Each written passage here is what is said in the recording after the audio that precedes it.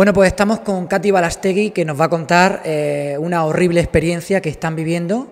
Y bueno, Katy, cuéntanos. Bueno, pues el miércoles de la semana pasada, de madrugada, nos robaron a, nuestro burro alfalfero. Cuando el jueves por la mañana mi padre fue a verlo, a ver cómo estaba, se dio cuenta de que el vallado lo habían roto y, no, y no, el animal no, no, aparecía. Nos personamos en el cuartel de la Guardia Civil para poner la denuncia, avisamos también a la policía local y empezamos pues, a buscarlo por nuestra cuenta.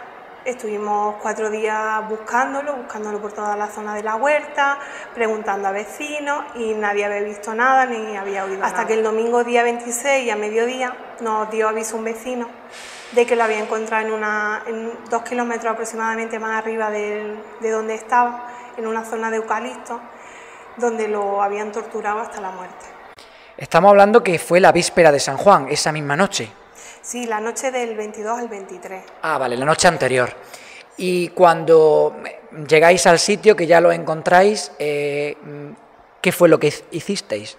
Pues avisamos a la, Guardia Civil, que no tardaron, no tardaron en llegar, se personaron allí, hicieron una inspección ocular, tomaron fotografías. Eh, también vino la policía local, que le correspondía también y como no nos quedamos tranquilos y en el estado en el que estaba el animal y lo que habían hecho con él, avisamos a un veterinario, amigo de la familia, para que también hiciera una inspección de, cómo estaba todo.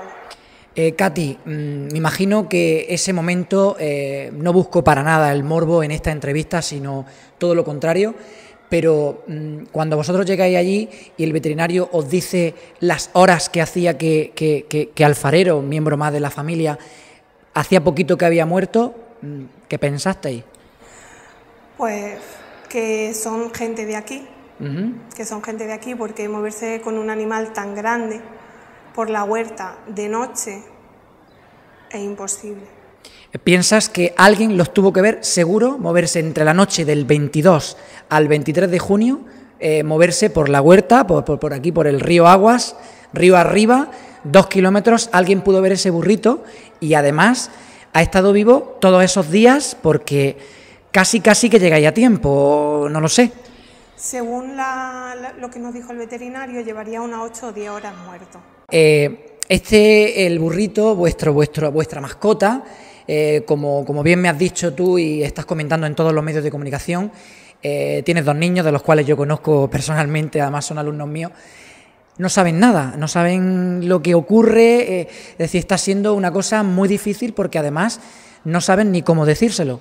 No, a día, a día de hoy ellos solo saben que, el animal desapareció, pero porque no nos vemos capaces ni siquiera de decirle que, ha muerto o que ya estaba muy mayor. Se nos parte el alma solo de pensar que, que a mis niños, que ellos lo disfrutaban, decirles que... Bueno, Katy, no te quiero tampoco eh, el burro, y mm, mm, me comentas que todos los burros están en peligro de extinción, era un burrito con 11 años, que llevaba 11 años con, bueno, 5 años con vosotros, estaba totalmente legal, con todos sus papeles, y era pues uno más de esta familia. Pero ¿qué es lo que pides, qué es lo que pide Katy Balastegui y qué es lo que pedimos, pues en este caso, todos los que apoyamos eh, tu causa? Pues pido que se, la colaboración ciudadana, que aparezcan esos asesinos salvajes porque ella no solo por lo que le han hecho al animal, sino como madre de dos niños pequeños, yo no puedo salir a la calle tranquila con mi hijo sabiendo que esa persona está suelta, esos monstruos. Eh, intuimos que pueden ser personas o niños eh, mayores de edad, menores de edad, puede haber un poquito de todo, pero estas son especulaciones nuestras y estamos intentando, investigando, preguntando a diestro y siniestro.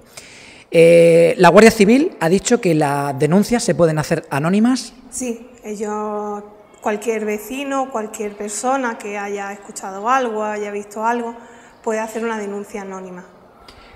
Bueno, decir que se pueden hacer esas denuncias o bien en los distintos cuarteles de la Guardia Civil o en, la Policía Local de Turre, incluso eh, nosotros también eh, como, como, institución, como el Centro Guadalinfo, sabes que apoyamos por supuesto esta causa y bueno, pues hemos pedido que que se haga pues incluso pues como se hacía antes en el colegio, ¿no?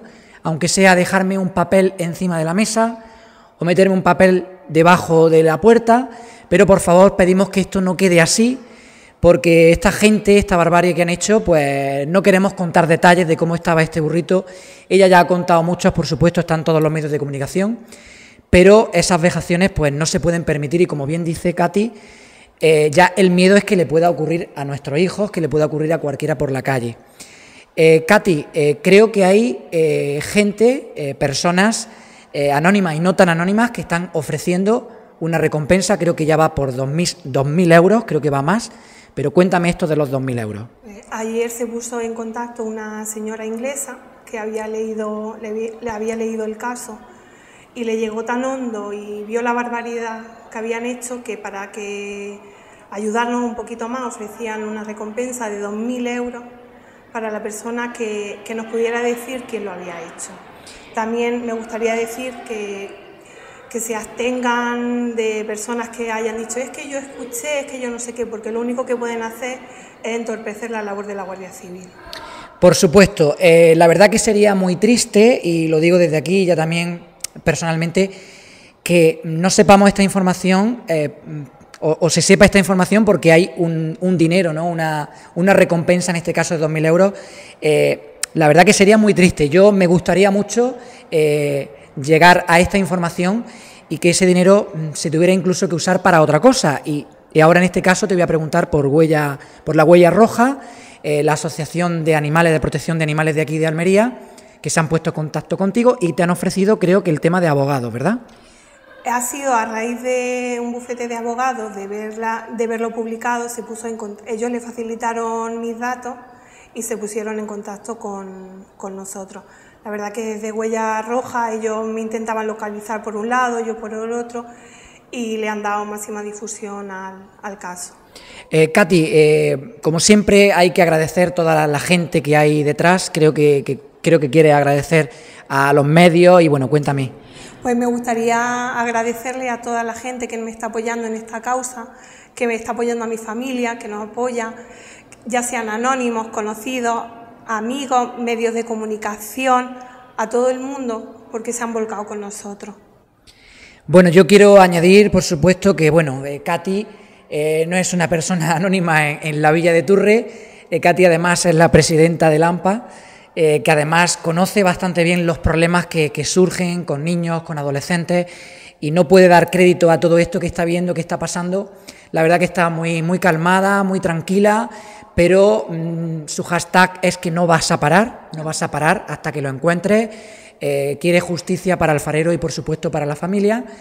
Y bueno, pues desde aquí, desde aquí pedirle a, a todos los que nos están viendo y a todas las personas que, que pueden tener alguna información que por favor, que por favor, que usen cualquier medio, sea cual sea, pero como bien dice Katy, eh, no dar falsas expectativas o mentiras porque puede eh, interferir en, esta investigación que eh, es una investigación muy importante porque hay que recordarles que tanto si son menores de edad como si son mayores de edad, esto tiene hasta cárcel, es decir, ya por suerte ha cambiado un poquito la ley en relación al maltrato animal y no solamente maltrato, sino hasta llegar a, producir la muerte.